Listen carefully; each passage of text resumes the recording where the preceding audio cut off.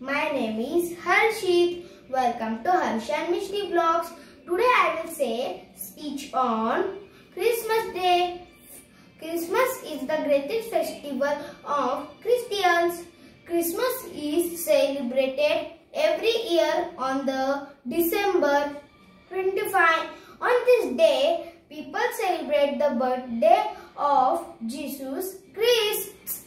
On Christmas Day, people decorate Christmas tree with colorful balls, ribbon, red socks, toys and candles.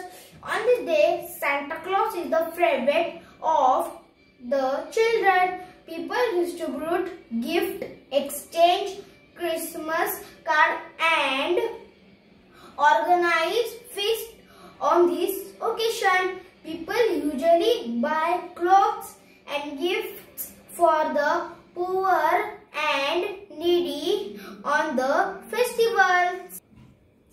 On Christmas Day, Christian sings, carols and pray together in the church. Everyone greet each other by wishing Merry Christmas. Christmas is the festival of love, peace and happiness. Hope you like this video. Please like, share and subscribe my channel. Thank you. Merry Christmas Day to all my friends. Bye.